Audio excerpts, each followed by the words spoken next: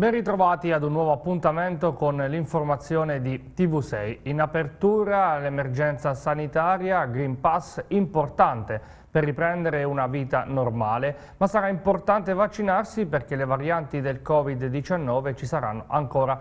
Così ai nostri microfoni l'infettivologo Giustino Parruti, il servizio di Paolo Renzetti. Dal 6 agosto scorso è in vigore il Green Pass che permette ai cittadini di poter partecipare agli eventi al chiuso, ma da settembre potrebbe essere obbligatorio anche a scuola e sui mezzi pubblici. Per l'infettivologo Giustino Parruti parliamo di uno strumento necessario. Da una eh, valutazione del rischio che l'utente di un servizio o il partecipante a un raduno eh, eh, sia portatore di coronavirus, quindi ci dà un giudizio di estrema improbabilità che una persona sia portatore di coronavirus, assemblando una o più condizioni delle quali appunto la vaccinazione entro un certo periodo o la combinazione di malattia pregressa e vaccinazione per l'altra parte e insieme al tampone negativo delle ultime 48 ore, cioè assemblando tre diverse condizioni ci rende fruibili in un contesto di ripresa purtroppo della circolazione del virus variante eh, di fare la vita sociale che abbiamo tanto desiderato, si può fare un matrimonio, si può fare una festa, si può fare appunto una scuola in presenza, sono tutte condizioni che vengono soddisfatte. Oggi discutevamo anche, ve lo dico sinceramente, se non fosse opportuno addirittura nell'ambito delle visite in ospedale utilizzare la stessa regola perché aumenterebbe ulteriormente il livello di sicurezza. Sulla vaccinazione in Abruzzo numeri positivi come spiega ai nostri microfoni il responsabile del reparto di malattie infettive del Santo Spirito. La situazione dell'Abruzzo è ottima, nel senso che eh, stiamo andando sopra la media nazionale in termini di copertura con la doppia dose, con i singoli vaccinati e soprattutto abbiamo un record sulla fascia di età dei più giovani, insieme a poche altre regioni abbiamo superato il 25%, quindi sono tutte cose molto positive. Su questo concetto dell'immunità di gregge però io mi sono espresso sempre allo stesso modo e non posso che ribadire la stessa cosa. Allora, questo virus purtroppo nella sua rapida evoluzione ha mostrato la capacità di selezionare sempre più varianti che si contraddistinguono per la alta contagiosità. Preoccupa un po' la variante Epsilon, ma il dottor Parruti invita a non drammatizzare spiegando che le varianti ci faranno ancora compagnia per tempo. Quindi noi avremo questo virus che purtroppo riesce a modificare la proteina spike, la proteina recettoriale in forma talmente efficiente sufficiente da non perdere di patogenicità. Che cosa però sappiamo di per certo? Che i vaccinati con doppia dose o coloro che hanno fatto l'infezione con una variante e poi un richiamo vaccinale iniziano lo sviluppo di una classe di anticorpi molto totipotenti, molto validi su tutte le varianti e soprattutto inducono un gran numero di cellule nella maggior parte dei vaccinati che sono buoni per tutte le varianti. Quindi il messaggio positivo, qualunque sia la variante in circolazione, è che il vaccinato ha una protezione contro la mortalità e in larga misura contro la malattia grave che è assolutamente importante. Ed ora l'andamento della pandemia nella nostra regione, sono 78 i nuovi casi di Covid-19 accertati nelle ultime ore in Abruzzo, sono emersi dall'analisi di 1894 tamponi molecolari e risultato positivo il 4,12% dei campioni eseguiti anche 4.260 test antigenici. I ricoveri passano dai 50 di ieri ai 54 di oggi. Le ospedalizzazioni nel giro di due settimane sono aumentate del 125%. Non si registrano decessi, il bilancio delle vittime è fermo a 2.515. I nuovi positivi hanno età compresa tra i 3 e gli 83 anni. Gli attualmente positivi sono 1.804. 53 pazienti più 4 sono ricoverati in ospedale in area medica e uno invariato e in terapia intensiva, mentre gli altri 1.750 sono in isolamento domiciliare. I nuovi guariti sono 74, 16 sono i nuovi casi eh, residenti o domiciliati in provincia dell'Aquila, 21 in provincia di Chieti, 6 in quella di Pescara e 32 nella provincia di Teramo. E noi cambiamo argomento, potrebbe avvicinarsi la riapertura delle piscine Lenaiadi di Pescara dopo il bando per l'affidamento temporaneo della gestione pubblicato sul Bura. Vediamo. Assessore, è stato già aperto da qualche giorno il bando per l'assegnazione a gestione provvisoria dell'impianto delle Naidi, dunque c'è una schiarita che potrebbe far pensare, ipotizzare a una riapertura a questo punto a settembre. Sì, il nostro goal, il nostro target, il nostro obiettivo è quello di riaprire il complesso Lenaiadi. Eh, la nostra unica apprensione, l'unica eh, necessità che io come assessore allo sport avverto non eh, soltanto perché le Lenaiadi rappresentano una eh, centralità nell'ambito del nuoto per la città di Pescara, ma perché sono un simbolo dell'intero Abruzzo e dell'intero centro Centro Italia, un complesso incredibile che ha passato delle stagioni travagliate e che deve vedere assolutamente una schiarita.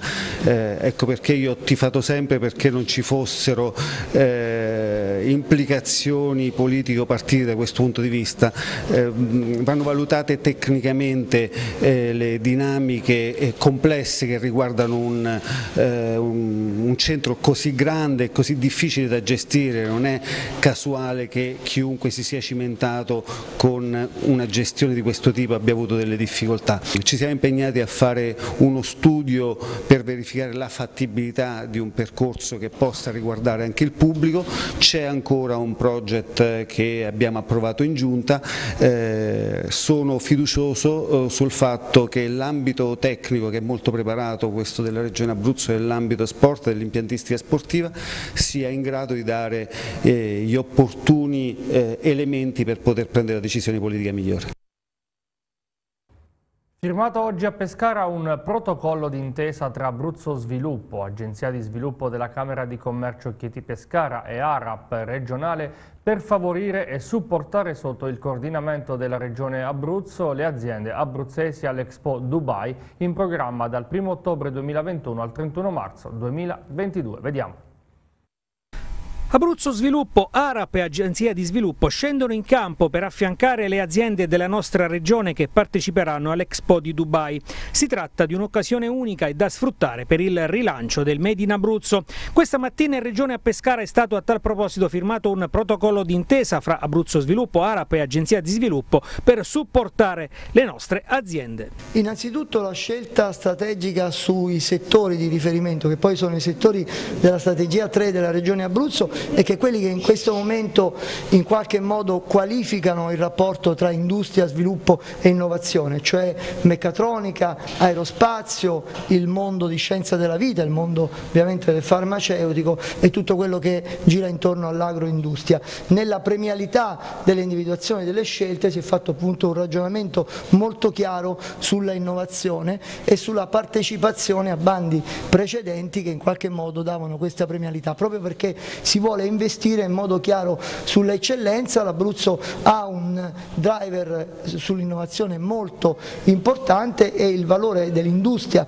per questa regione, non devo certamente scoprirlo io, è la regione più industrializzata del meridione e quindi è giusto che le eccellenze possano non solo qualificare la nostra regione ma possano diventare un driver di sviluppo e di rappresentanza all'estero. L'ARAP ha iniziato eh, lo screening di tutte le imprese, non solo quelle che sono nei nuclei industriali ma di tutto l'Abruzzo già sette mesi fa. Eh, come braccio operativo dell'assessorato alle attività produttive siamo stati indicati dal Consiglio regionale come soggetto attuatore per i finanziamenti, quindi accompagneremo le imprese a Dubai con la nostra organizzazione. Insieme ad Abruzzo Sviluppo ormai è nata una collaborazione che prevede un cambio di paradigma, cioè un approccio sistemico a tutte le problematiche delle imprese, non solo per tutelare i luoghi dove si fa impresa, che sono i luoghi che gestisce ARAP, cioè i consorsi industriali, ma anche per pensare al brand Abruzzo nel mondo e quindi a esportare i nostri prodotti, ma anche ad attrarre le imprese sul territorio.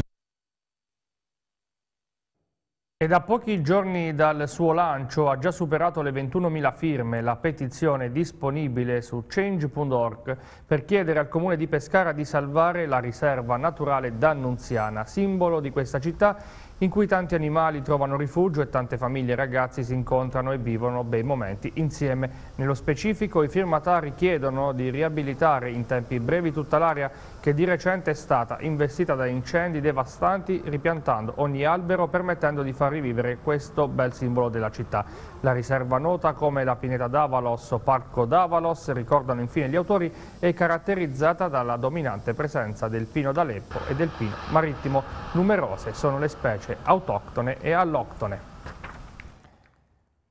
Pagina sindacale, far conoscere i propri diritti ai lavoratori stagionali e ragionare in modo complessivo sul settore del turismo e sul sistema di accoglienza. Così stamani i CGL e Filcams di Teramo hanno presentato un'opportuna campagna di informazione. Vediamo.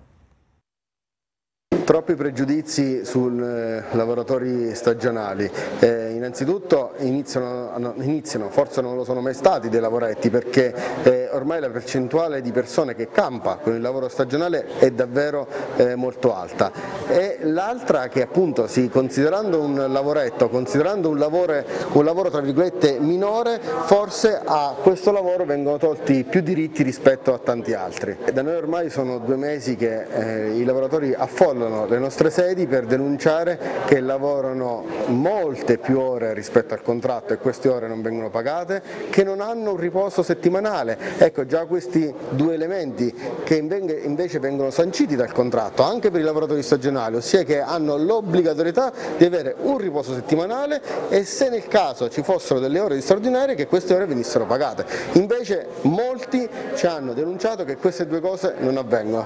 Noi con l'iniziativa di oggi in pratica non solo vogliamo un'altra volta denunciare quelli che sono in pratica i limiti e le illusioni che ci stanno nel, eh, nel, lavoro stagionale, ma vogliamo anche provare ad iniziare un percorso per eh, invertire la tendenza e diciamo alle imprese con forza, con convinzione, in pratica, incontriamoci prima, cominciamo a programmare e vediamo quali sono le difficoltà, quali sono i punti di caduta e vediamo come infrare questi, questi punti di caduta rispetto a quello che è il rispetto dei contratti, il rispetto delle persone deve essere recuperato. La campagna informativa partirà già da stasera sulla nostra pagina Facebook e pubblicheremo un video a settimana in cui andremo a descrivere quelli che sono i diritti delle lavoratrici e dei lavoratori che sono contenuti nelle leggi e nel contratto collettivo nazionale, partendo appunto da quello che dicevamo prima, quindi dalle ore di lavoro, andando a finire anche alla disoccupazione, al diritto alla NASPI che hanno eh, questi lavoratori, quindi cercheremo di dare una panoramica su tutto quello che comprende il lavoro stagionale per informare,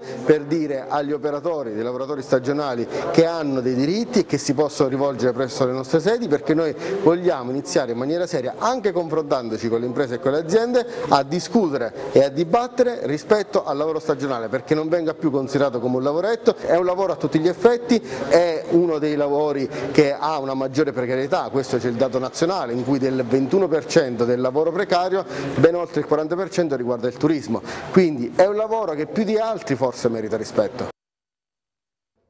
Ci spostiamo nel capoluogo e apriamo la pagina degli eventi. La mamma e insegnante Marianna Capulli, il neolaureato in medicina Federico Santilli e la studentessa del conservatorio Martina Ciccone. Saranno loro rispettivamente ad impersonare la dama della bolla, il giovinsignore e la dama del cro della croce nel corteo storico della edizione numero 727 della Perdonanza Celestiniana all'Aquila. Ieri è avvenuta la presentazione dell'evento. Vediamo. Sindaco, perdonanza 727 sicuramente sotto due segni, in qualche modo il segno della rinascita ma anche sotto il segno del Covid-19 e del Green Pass. Sì, eh, ci sono misure restrittive come l'anno scorso, nonostante ciò non rinunciamo alla nostra festa principale che è quella del eh, perdono che fra l'altro si freggia di questo riconoscimento di patrimonio immateriale dell'umanità da parte dell'UNESCO, lo faremo con regole già rodate che però non impediranno a questa tradizionale ricorrenza di essere affascinante come un tempo, di essere bella, attrattiva nel rigore che richiede il del periodo storico che stiamo, eh, che stiamo vivendo, ma siamo certi di trovare il punto di equilibrio esattamente come è successo l'anno scorso in cui la situazione era molto più complessa, molto più pesante e anche molto più pericolosa, eh, se vogliamo perché fortunatamente i dati attuali ci raccontano ancora di una bassissima ospedalizzazione del contagio, eh, ma diciamo, questo non, non, non, è che ci eh, farà perdere di vista il rispetto puntuale delle regole. Per l'edizione di quest'anno ho scelti tre figuranti molto particolari che sottintendono tre messaggi particolari. Quest'anno è dedicato un po' ai nostri giovani, eh, visti da sotto tutti i punti di vista, eh, idealmente sono rappresentate le insegnanti, sono rappresentate le famiglie, sono rappresentati i piccoli che hanno subito per troppo tempo la didattica a distanza, sono rappresentati giovani laureati che stanno recuperando eh, la fisicità dei luoghi, ci sono quelli che si formano nell'ambito artistico, gli studenti dell'Accademia, del Conservatorio, insomma cerchiamo di abbracciare i nostri giovani a cui confidiamo poter affidare in un tempo non troppo remoto le sorti di questa città.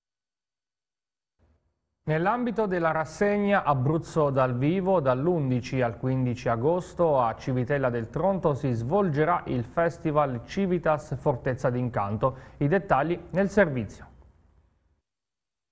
Dall'11 al 15 agosto a Civitella del Tronto, all'interno della fortezza, ci sarà Civitas Fortezza d'Incanto, un festival internazionale di teatro medievale. Ci sono più di 20 compagnie di teatro medievale che quindi svolgeranno i propri spettacoli all'interno di parchi medievali allestiti appositamente. Ci sono più di 6 compagnie che fanno una rivisitazione storica degli ambienti e delle ambientazioni del Medioevo dal 1100 al al 1300 che si susseguono tra di loro, ci sono momenti didattici di queste compagnie che spiegheranno ai più piccoli anche come si svolgeva la vita nel, al tempo del Medioevo e ci saranno anche dei giochi medievali di legno per i più piccoli. Un progetto quello di Abruzzo dal vivo sicuramente vincente che sta dando respiro, ha dato respiro in questi anni a tutti i comuni colpiti dal, dal terremoto, quest'anno in particolare a Civitella ci sarà questa bellissima manifestazione per fortuna è per la prima volta ambientata in fortezza, quindi possiamo eh, riutilizzare questa diciamo, location unica che è la fortezza per ospitare un festival internazionale di eh, teatro, musica, ci saranno tanti tanti tanti artisti.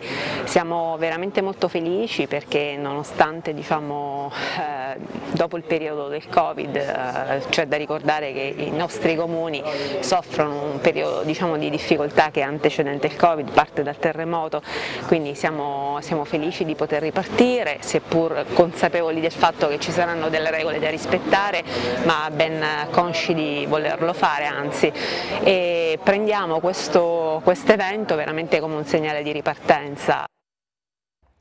La pagina dello sport sarà l'Ancona Matelica, la prima avversaria in campionato per il Pescara il prossimo 29 agosto. Il debutto assoluto in Coppa Italia avverrà sabato 21 all'Adriatico contro l'Olbia. In queste ore resta però centrale il nodo mercato con le uscite dei giovani attaccanti Borrelli e Belloni. Andrea Costantini. Un calendario che sarà come una montagna, inizio discretamente impegnativo, poi l'ascesa verso le gare più complesse, quindi la discesa verso l'arrivo. Si può riassumere così il cammino del Pescara, stando a quei ragionamenti che si fanno sulla carta, pronti a essere chissà anche smentiti dal campo. Ma se le principali antagoniste per la vittoria del campionato sono le retrocesse Virtus Entella e Reggiana e un Modena che sta facendo un mercato importante, queste squadre il Delfino le affronterà proprio a metà del girone di andata e ritorno. In particolare si parte dalla settima giornata con Pescara Reggiana 3 ottobre e 10 febbraio, poi Virtus Entella all'ottava, Modena alla decima in un doppio match casalingo preceduto da quello con la Fermana, quindi Cesena e il derby col Teramo. Poi la conclusione del girone con un trittico di Toscane, poker in caso di presenza della Pistoiese e chiusura con l'Imolese. L'inizio non sarà da sottovalutare, il Matelica degli abruzzesi d'adozione con la Vitto e Micciola è reduce da una splendida stagione stagione e cerca conferme pur avendo perso alcuni elementi importanti e anche la prima trasferta a Carrara farà affrontare al Pescara una squadra che in questi anni è sempre partita con importanti ambizioni, ha avuto nomi altisonanti ma senza compiere il salto di qualità. In panchina l'ex azzurro e bomber dell'Udinese Totò Di Natale. Sul calendario il tecnico del Pescara Gaetano Auteri non si scompone più di tanto. È molto difficile fare pronostici perché insomma eh, poi una squadra vale l'altra, ho sempre pensato quello, non c'è partita in casa, partita fuori, avversario più difficile, più facile.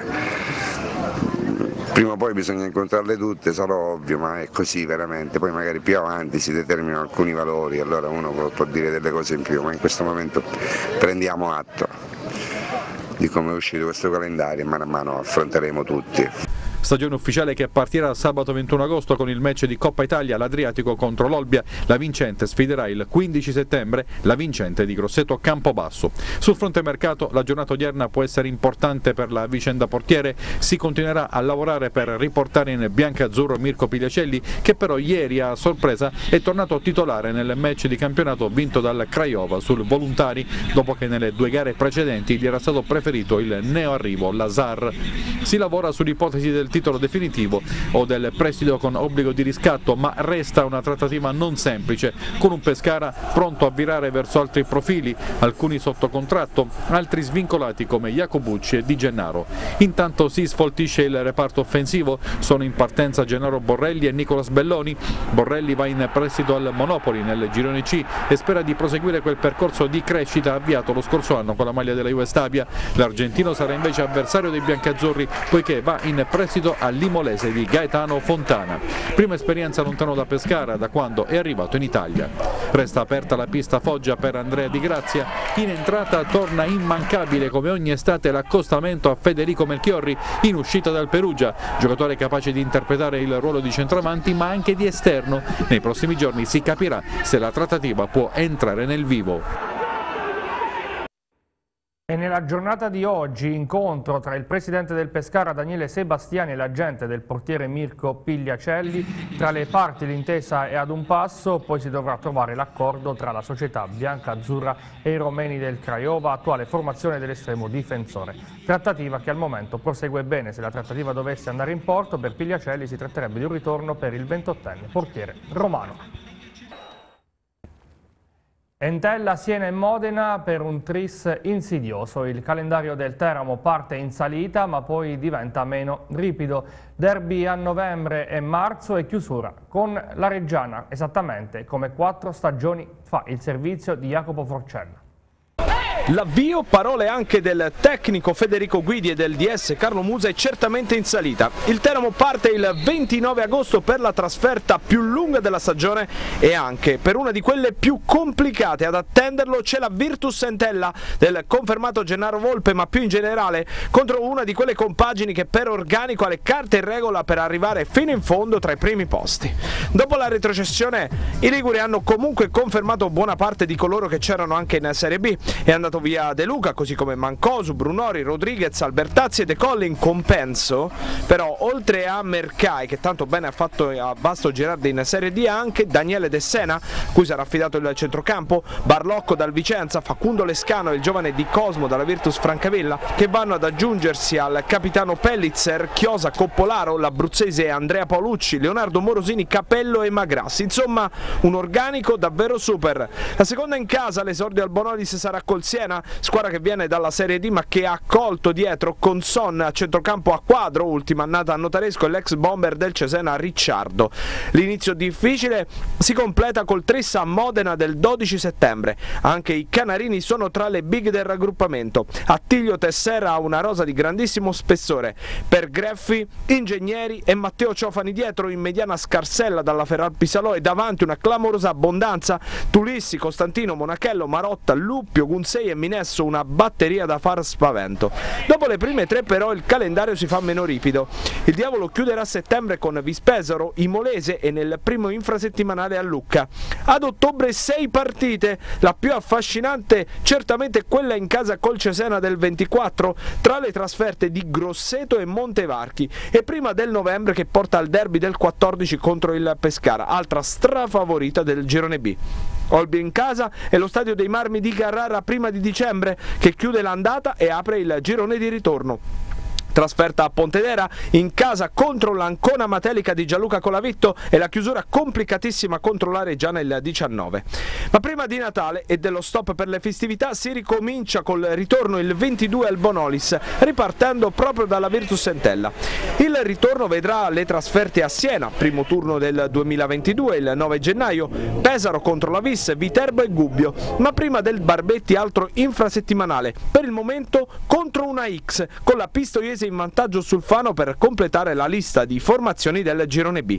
A marzo al Manuzzi c'è il Cesena, l'altro infrasettimanale di fermo prima del derby di ritorno allo stadio Gaetano Bonolis del 20 marzo. Una settimana dopo si vola in Sardegna a far visita all'Olbia prima del rush finale di aprile, in casa con Carrarese e Pontedera nelle due casalinghe consecutive. Venerdì 15 aprile trasferta ad Ancona due giorni prima di Pasqua e chiusura tra le mura amiche contro la Reggiana. Esattamente come nella stagione stagione 2017-2018 con quel 3-3 che non salvò il Teramo condannato ad un playout che però non disputò mai perché le irregolarità contabili del Sant'Arcangelo condannarono i giallo-blu ad una penalizzazione di due punti col diavolo che festeggiò invece la salvezza diretta. Chiusura il 24 aprile dunque, prima della fase 2. Stavolta per il Teramo non sarà così facile centrarla considerando la concorrenza e la necessità di abbassare ulteriormente i costi di gestione. Guidi ci proverà e il mercato mercato ancora aperto è lì per provare a dargli una mano. Scendiamo di categoria, sarà ancora un Pineto delle grandi ambizioni, quello che si presenta ai nastri di partenza del campionato 2021-2022 di Serie D. Ad annunciarlo è Roberto Giammarino, direttore generale della formazione bianca-azzurra. Dal mercato sono arrivati giocatori di spessore come Cardella, Pezzotti e Albanese, oltre ai rinnovi di elementi che hanno ben figurato già nella passata stagione. Vediamo.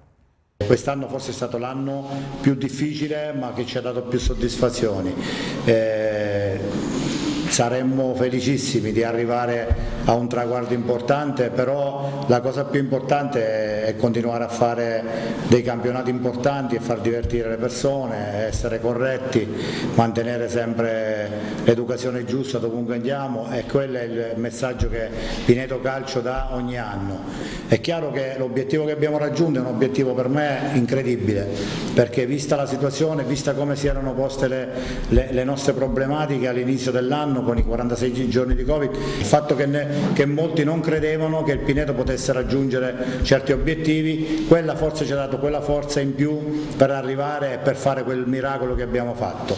Quest'anno abbiamo cercato di rimettere, di mantenere, ci è dispiaciuto togliere qualcuno ma era impossibile mantenere tutta la, la rosa, anzi vi posso assicurare che è stato molto doloroso dire a qualcuno guarda quest'anno non fai parte di questo gruppo, perché? Perché erano stati tutti talmente bravi che ci, siamo, ci, ci, si è, ci, si è, ristretto il cuore, però dovevamo fare delle scelte, abbiamo fatto delle scelte, speriamo di aver fatto delle scelte importanti, giuste, abbiamo cercato di rinforzare la squadra, abbiamo un mix tra giovani e vecchi e che credo sia, il campo chiaramente darà, darà la sua risposta, però la mia speranza è che, la serie, che il girone F torni ad essere quel girone sulla fascia adriatica e con qualcosa di, di di Umbro o di Laziale. È chiaro che le trasferte al sud, le trasferte nel Basso Lazio eh, sono un po' più eh, particolari per noi perché distano oltre tre ore, tre ore e mezza di macchina, quindi noi chiaramente pensiamo sempre a qualcosa di più comodo. Io ho sempre detto al Presidente che noi siamo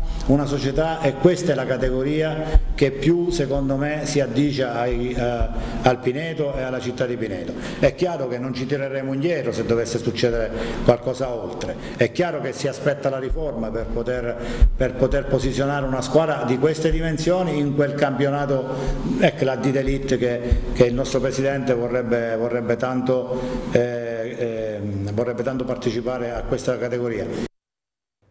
E questa era la nostra ultima notizia, tutti i servizi che avete visto sono disponibili sul nostro canale social YouTube e al sito www.tv6.it. Grazie per l'attenzione e arrivederci.